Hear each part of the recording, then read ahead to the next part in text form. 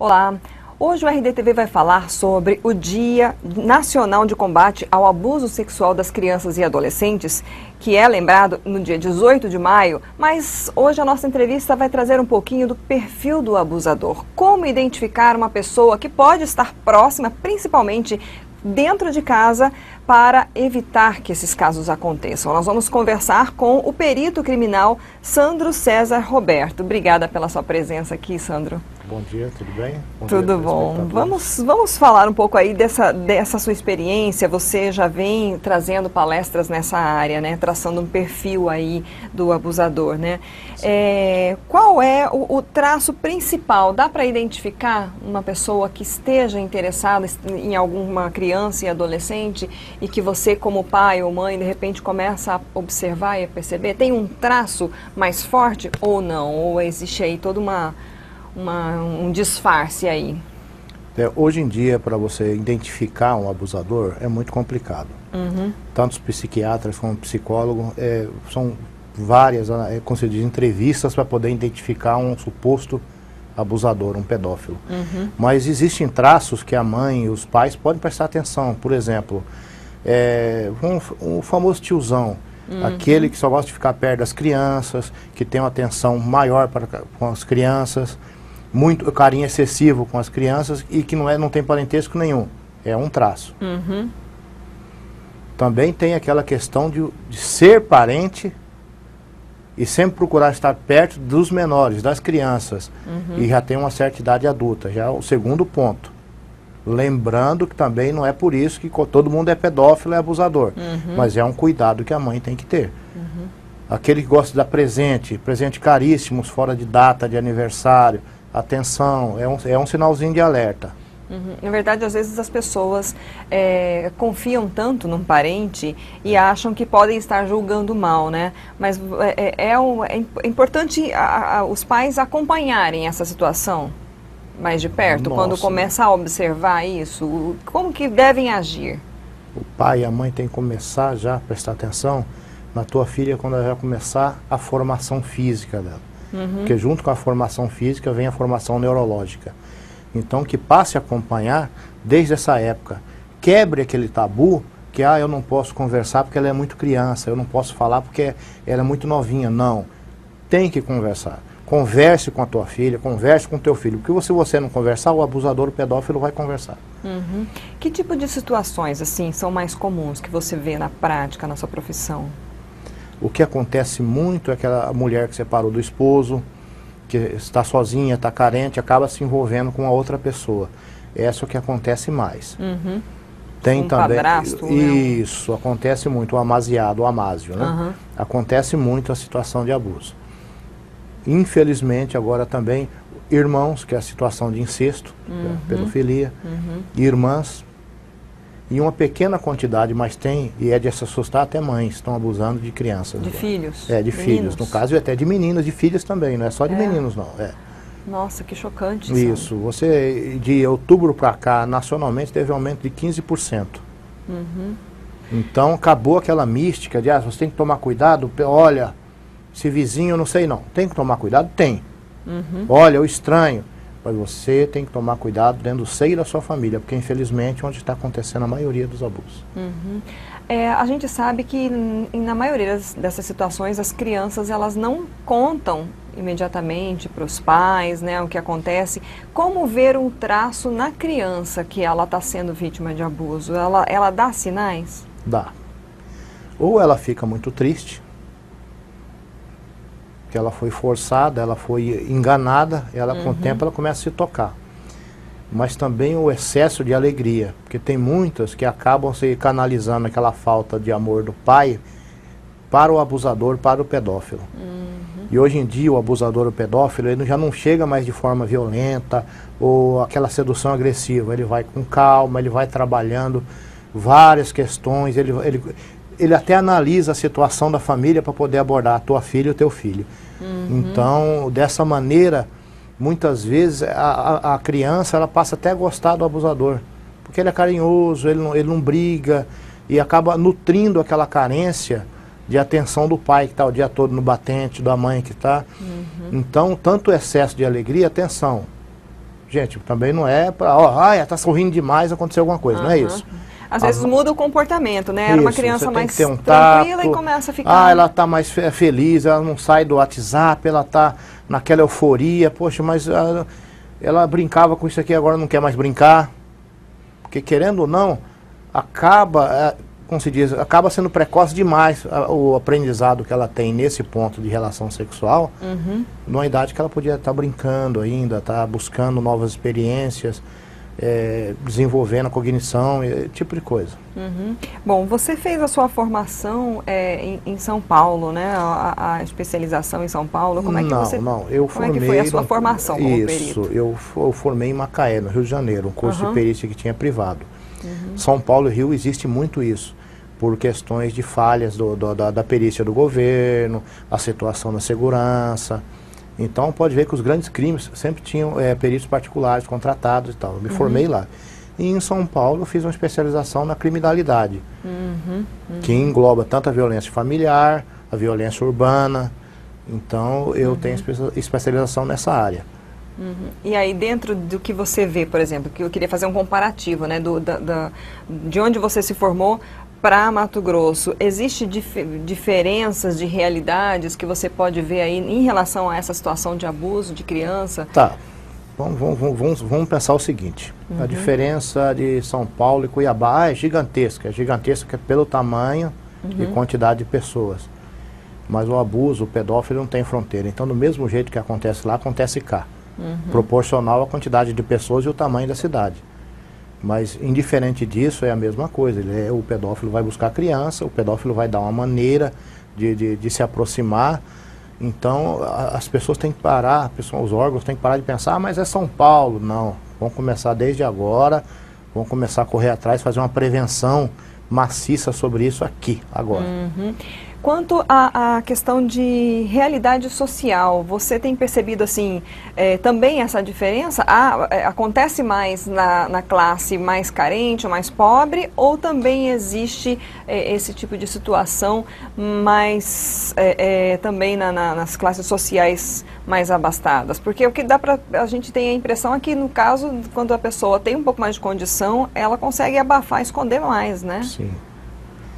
É, quando tem a condição financeira, tem vários pontos em questões que pode pesar muito uhum. para que se esconda isso.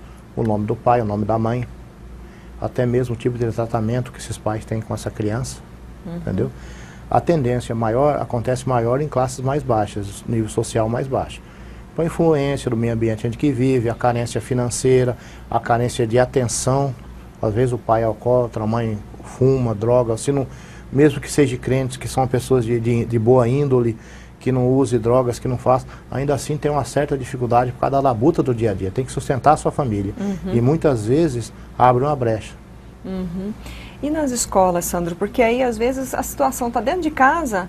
E aí, como é que vai fazer para denunciar? Vocês, é, você acompanha, já deu palestras para professores? Como é que, que está assim essa, esse trabalho dentro das escolas? É, atualmente eu dou palestra nas faculdades, o pessoal da acadêmicos de direito, esse ah, ano sim. vou, vou, vou é, acadêmicos de psicologia e jornalismo, eu quero também englobar essa turma, que eles têm uhum. que ter um uhum. certo conhecimento desse ponto. Uhum.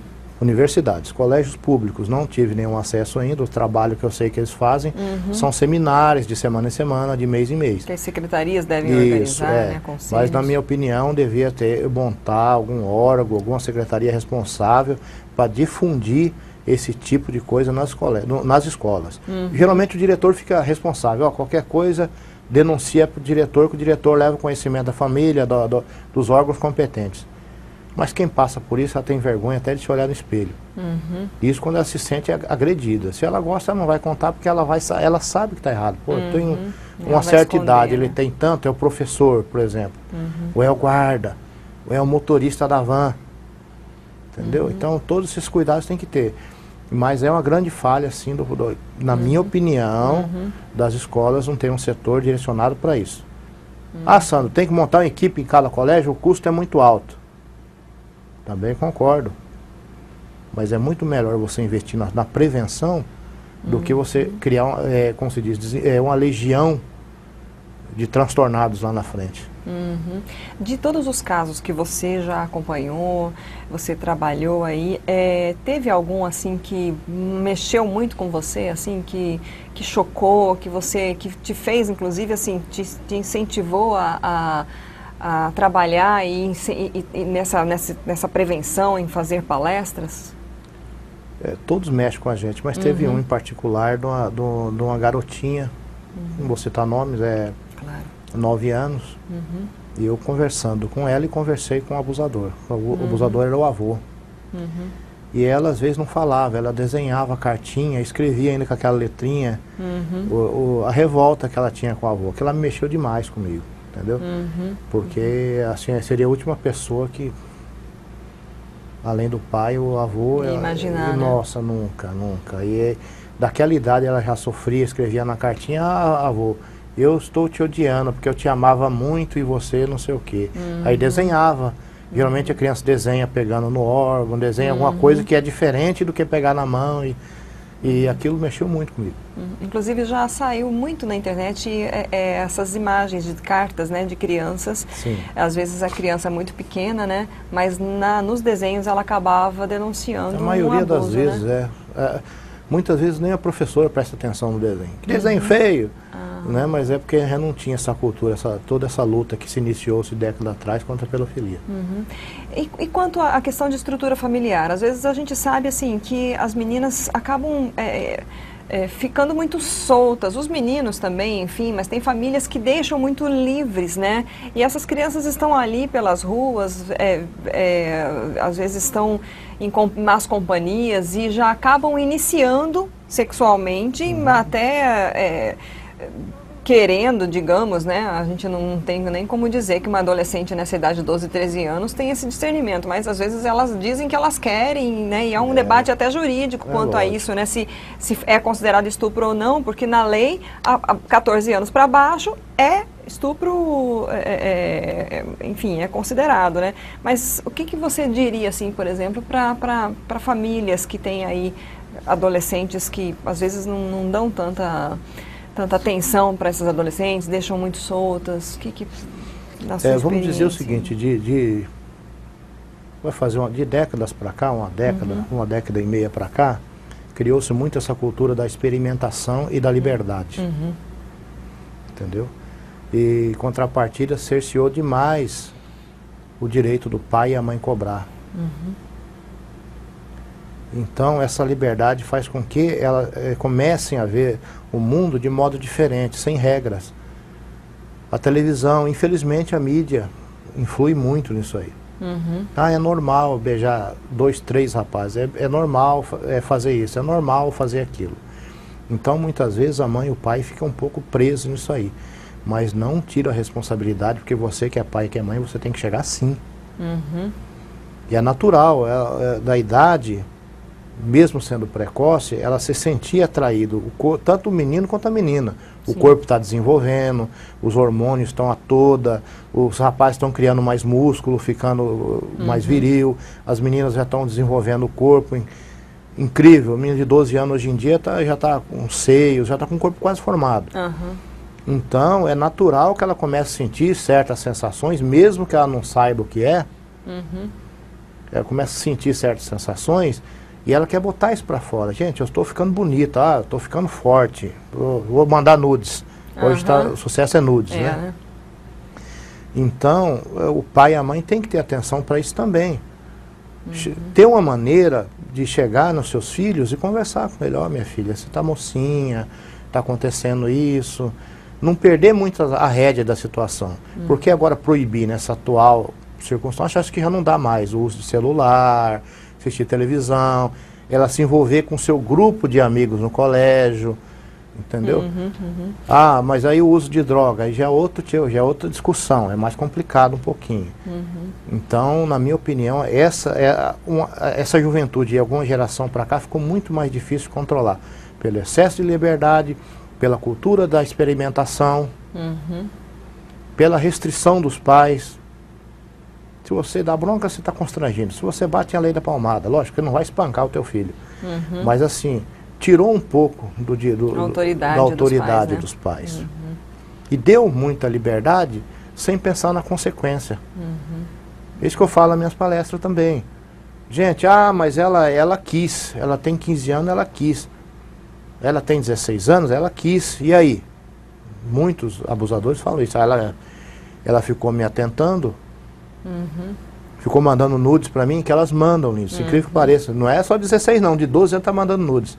Uhum. E muitas vezes o cara vai e não aguenta e pô. Uhum. Apesar que quem cabe a ele, que é a pessoa de que maior, é adulto, né? evitar né? isso aí. Uhum.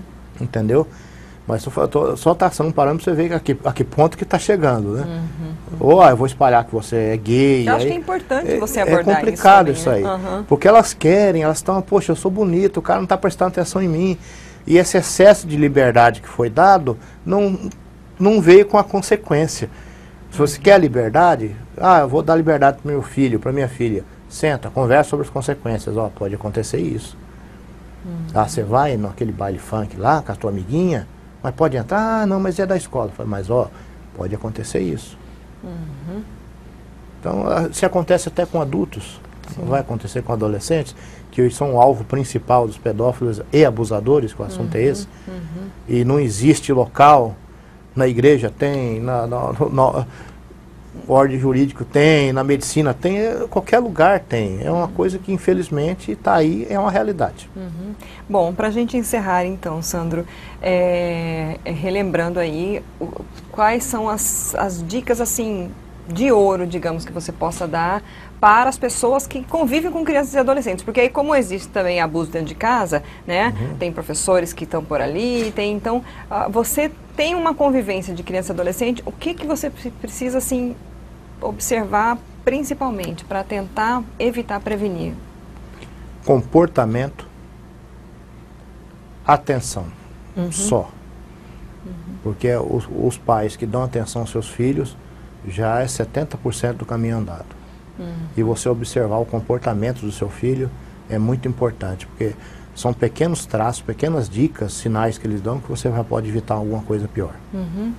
Ok, obrigada por ter aceito aí nosso convite, pela sua presença aí. Poxa.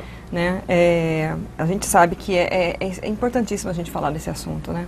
Uhum. É, às vezes as pessoas não gostam e, e, acham que, né, ah, tá muito batido, mas é. se existem muitos casos ainda, a gente precisa falar, a gente precisa chamar atenção, a gente precisa abordar, para que de repente, às vezes, a pessoa abra o olho que do lado dela pode estar acontecendo uma situação, né?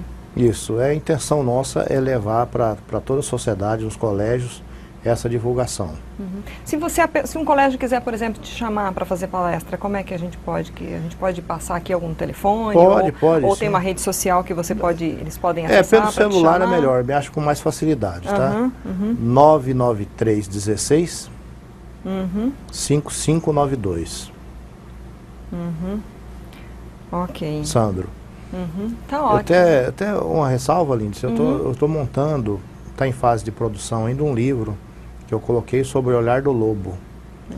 que é justamente eh, são, esse nome é, é uma pessoa mais velha, uma certa idade, de uhum. olho na vítima, que é a criança, sobre o olhar do uhum, lobo, uhum. que vai aglobar testemunhos de pessoas e abusadores, e no final, assim, é o meu ponto de vista do que uhum. deve ser uhum. feito para evitar, ou depois que já aconteceu, uhum. que o rumo deve tomar. Está uhum. em fase de produção. Assim que estiver pronto, vou trazer aqui para divulgar. Ótimo, vamos sim, vamos divulgar. Obrigada. Eu que agradeço. Nós conversamos hoje com Sandro César Roberto, perito criminal, falando um pouco sobre o perfil do abusador, do pedófilo, daquele que vai assediando, vai seduzindo, né? Como ele falou aqui, é, é, já se mudou um pouco esse perfil, né? A pessoa que vai a, abordar uma criança, um adolescente com intenções de abuso sexual, necessariamente ela não chega com violência. Muitas vezes ela vai seduzindo, ela vai conquistando a própria família, quando é alguém de fora da família, algum amigo, algum parente. Então ele trouxe aqui algumas informações muito importantes para gente que está no nosso dia a dia. Às vezes, ah, na minha vida, na minha, né, na, comigo, na minha família não acontece isso. Mas você tem crianças, tem adolescentes próximos a você? Você trabalha com crianças e adolescentes? Observe, né? Ficou essa dica aqui do Sandro. Sempre observar a mudança de comportamento. E para os pais, atenção, amor, carinho, equilíbrio, né? Ele falou aqui, as, os pais estão perdendo um pouco a autoridade, as crianças estão ficando soltas no mundo. É importante retomar essa autoridade sem opressão, mas ficou essa dica aqui para você. Então, se você também está numa escola, numa faculdade, você quiser propor aí uma palestra, vou passar de novo o telefone do Sandro para você levar essas palestras aí para a sua área. É 993165592 nós podemos também compartilhar essa entrevista, ajudar a, a, divulgar essas informações. Essa entrevista ela fica no, disponível no site RD News, no YouTube também e no Facebook. Obrigada pela audiência. Até a próxima.